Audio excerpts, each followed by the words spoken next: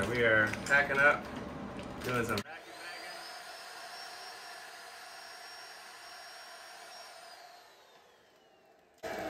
These things don't hold the vacuum for too long, but it'll be good enough to let us have room for our food for the first day, food and extra water.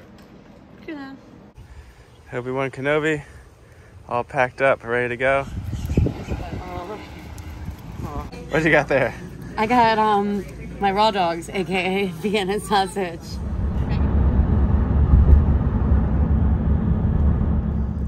So I got a bit of a predicament. I'm trying to raise the mast, and this is the first time I used the uh, the official Hobie mast raising mechanism, and it kind of ripped out the bottom, and the ball didn't go in its home.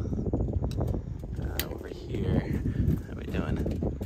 Yeah, it ripped out that rivet too, so it's only holding with one rivet. I might need to drill some more holes in there.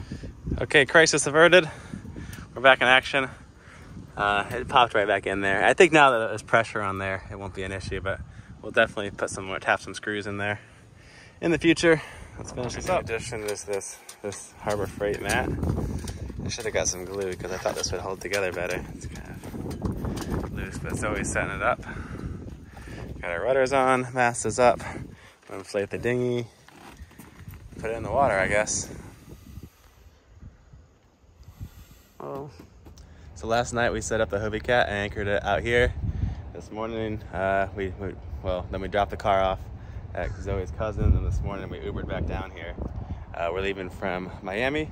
I'm gonna row out on this little guy, this little boat, and then we'll load the last of our gear on the Hobie Cat. Boat's floating a little lower than normal with all this gear. We'll see how it does. I think we might have a good forecast. So much stuff. All right, beginning of the trip, we're leaving Miami. Got the skyline over there. Pretty good wind. We got about 10 knots right now. Maybe gusting to 15. I think the forecast is going to be a little stronger. It's a good forecast. A little, a little, I'm a little apprehensive to go offshore. Uh, I'm a little, been a little anxious, but I think we'll be okay. We'll see.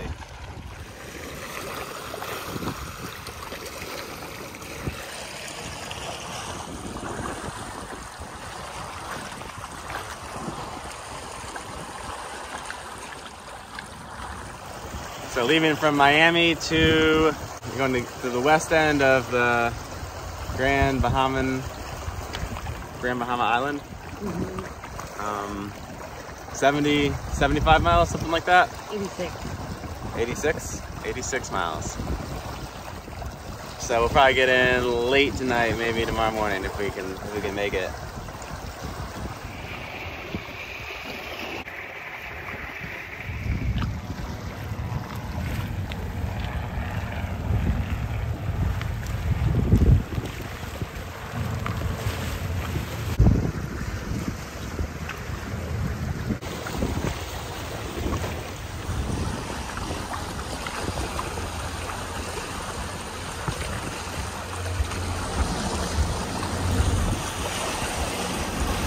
We get awake by this big boat.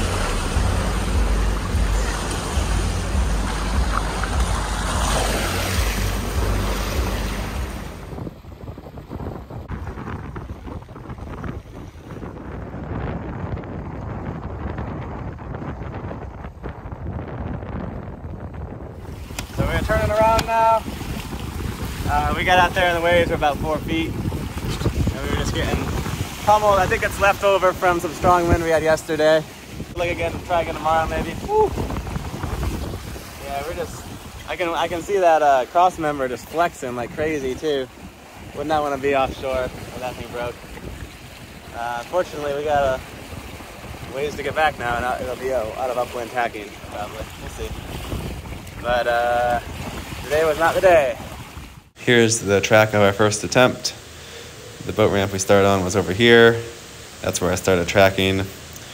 Um, actually, before we went that way, we went around this way first, but it didn't really work out. So we went out this way, tacked our way up the channel, and we were just getting pummeled by waves out here. So definitely not the right day to do it.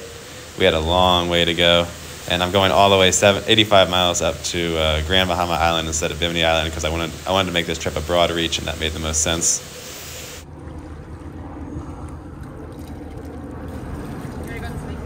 So we came back to this little island to regroup and figure out what we're gonna do for today. If we're gonna try again tomorrow or the next day. Oh no, the, the dinghy's hanging on the water. It's sad. I'm roll testing the the bungee anchor. We got an anchor out there, and then I'm trying to pull myself back to shore. I think it's actually gonna work. It's a pretty stretchy line. So now I release the white line and the bungee pulls the boat back out to sea. Seems to be working actually. The problem is the Hobie like wants to go weird angles. It's kind of hard to pull it back and forth, but the principle is sound. So now in theory, all I gotta do is pull the boat back into me. And I'm ready to go, go use it again. And I'll stay ashore, away from shore when I'm let go. Uh,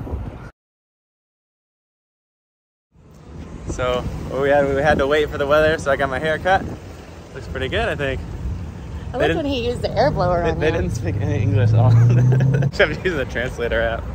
I was like, okay, we'll see how it comes out. Uh, we're gonna take another stab at sailing to the Bahamas uh, this afternoon. But I went and got a compass at Dick's because I thought that would be a good thing to have, so we don't have to keep getting out the phones. Now we're back at our little spot, and and Obi Wan Kenobi is still there. Um, it looks like there's white caps out on the water. To the point. There you go, they can see. We're gonna go for a walk around and see if we can see how much wind and waves are on the other side of our island. And then if there's too much wind, we might just fake the video and pretend to sail to the Bahamas. We'll just sail back and forth in here. And then we could probably film this so it looks like it is the Bahamas.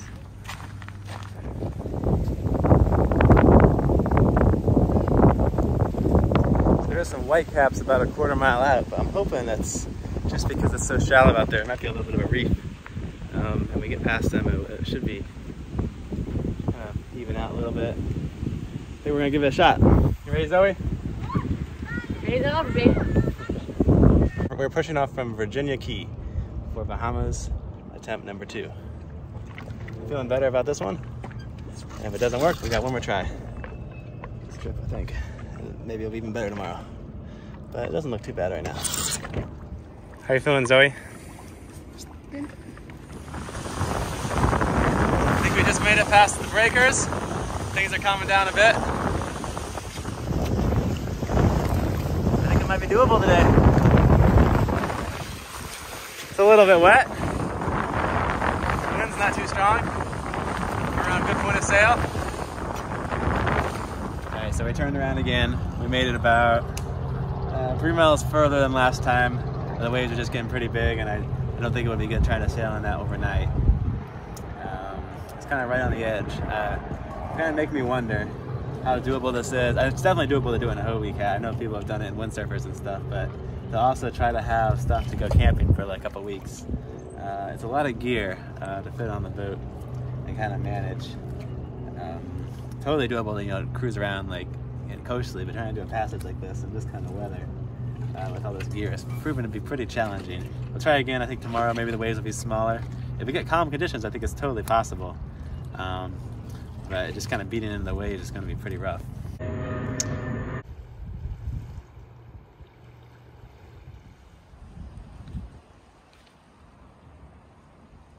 One of the biggest factors we're going to have to contend with on this passage is the Gulf Stream current. You can see it gets up to four knots, maybe stronger in the middle there. Uh, that's why I chose to leave on this diagonal from Miami instead of straight across from West Palm Beach. The current will kind of drift us upwards. And uh, also with the, the strong current, you really have to think about the wind direction because if the wind's going against the current, it could be really big, big waves. Okay, th- tonight we're gonna do a night sail attempt to the Bahamas, and the waves might be smaller. It looks so calm out here, but it is a little rougher out there. The waves will, will be small at maybe 8 to 10 p.m., so maybe we'll leave it like 9 or 10. 9 p.m. Leaving this hellish island of no-see-ums. This was our most miserable departure ever. Winds are pretty light. This is try number three for the Bahamas. We're gonna try sailing through the night, see if it's calmer. I think this, is, this will be our last try if we uh, if we don't make it. But we're gonna make it. I feel like we got pretty good odds today. And there's no turning back because I am not going back to that island with no-see-ums. Fuck no. It was horrible. Just, just awful. I'm gonna be poking at it tomorrow morning. 30 minutes in and off to a very slow start. We've gone maybe half a mile. If that. There's really no wind at all. But we'll carry on. Yep, we're doing it. And eventually we'll get into the Gulf Stream and that'll carry us, you know, northwards. Just enough wind to keep the boat, you know, on a heading at least. It's half after midnight. The wind has picked up a little bit and we are moving. Saying goodbye to Miami. Saying hello, Bahamas.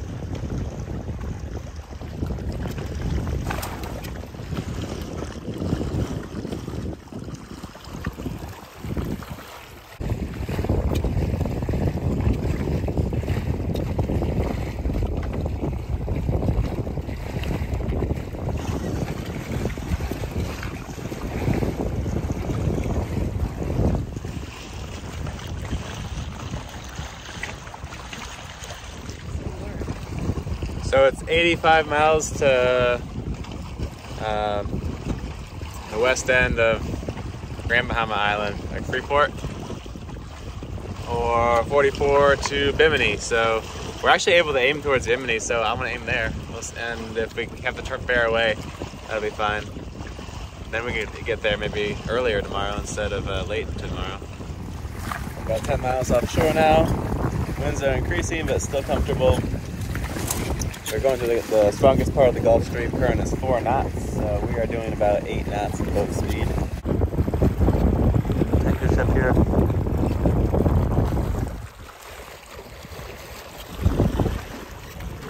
Actually, you can kind of see the stars out there. The Big Dipper.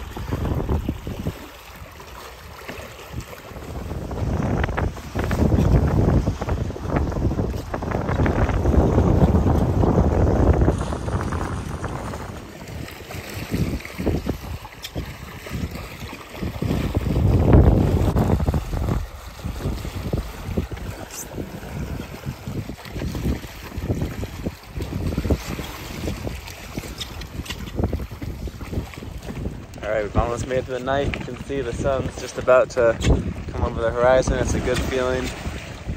Uh, I feel like we'll kind of warm up a little more, although the water has actually been pretty nice and warm because we're in the Gulf Stream. The water depth in the middle here is over 2,000 feet. We went over. All right, so we got pretty good light now. I'm a little concerned we're sinking. The hulls look like they're riding a, little, a bit lower than normal. Um, but we're almost halfway, so I think it's clear. We've decided that we're just going to carry on. I can see the bottom of the black marine too, so it's okay. Zoe's not as worried as me. No worries.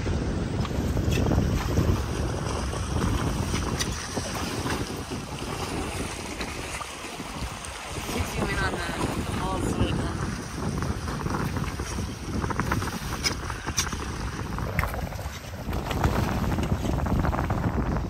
sunshine, and we're still floating.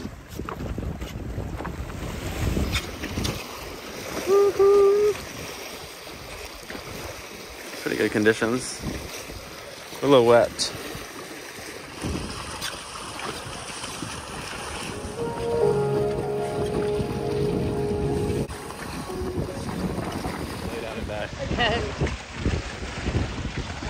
I steered all night except for an hour and a half.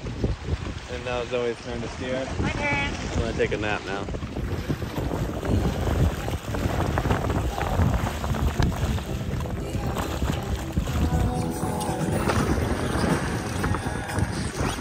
We lost our cargo net. Uh, we didn't lose it. Well, it fell off and then we, we took it off. The cargo net is down. We gave, I don't think we lost anything off of it, so we're not too much further. The. So conditions keep getting uh, wetter, wavier, windier, and we just lost one of our rudders. We lost our port rudder, but the starboard one's still working good. About 24 miles to go.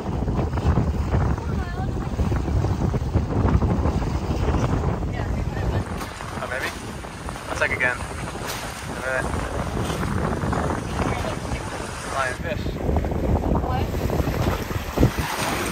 So we have the top of the rudder, it broke off uh, just at the bottom there. Uh, that rudder's still looking good. Hope we don't lose that. So we're coming up on the Bahamas to Old Bay, I think. Water's super clear. We just we just went over the reef. Got a little closer than I would have liked, but I didn't want to do the jibe. And the water is like so much calmer on this side. We were surfing in on like four to five foot waves earlier. I didn't get a lot of footage because it was it was like just really crazy. It was all hands on deck. We had all the weight in the back of the boat trying to keep us from pitchpoling. A couple of close calls where we buried a hull, but we made it without without uh, tipping the boat over. So, so if we can get into the harbor safe, we'll, we'll have made it. Made it. Hail the Hobie. We made it to the Bahamas. You gotta kiss the land. Everybody told us it was a bad idea when I got here. I think I'm gonna sail back. That was maybe one of my worst decisions. The boat almost sank coming in too. It's got so much water in the hulls. And we also cleared an immigration. So Only took an hour. Zoe's favorite part. We covered over 88 miles in just 13 hours, which I thought was pretty good. You kind of see the boat is sitting pretty low. in the back there. So we took, we take our quarantine flag out and put up our courtesy flag.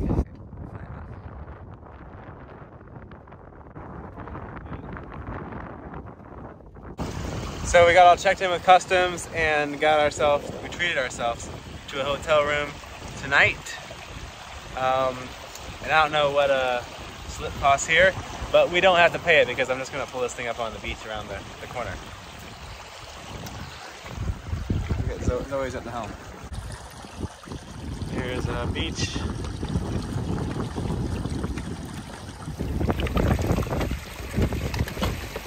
To the right, to the right, you're gonna hit this guy. All right, so we beached Hobie, and I'm using my bungee anchor. So as the tide comes up, it'll pull it up onto the beach, and then we can empty the hulls tomorrow once it's out on the water, and we don't have to do anything. I really like the bungee anchor so far. Like, look how long it stretches, and it's only maybe like a quarter of that length once it's away, so it doesn't take up any room. So I was super surprised how awesome this hotel room was, uh, which is super essential because we got to charge all our our gadgets and uh, you know freeze our waters and uh, wash the laundry after that trip.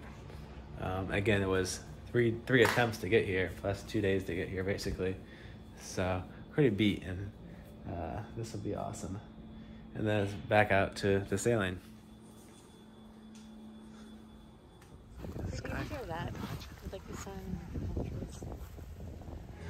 Cheers to us surviving. And to Hobie. And to you, Sam. And to me.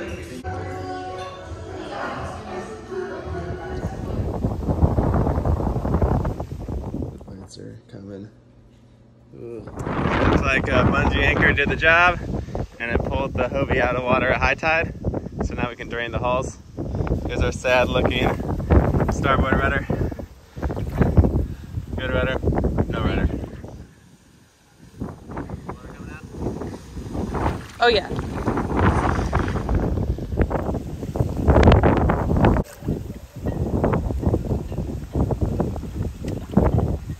Now for hull number two, this is the bad one. Oh man, look at this, Zoe. So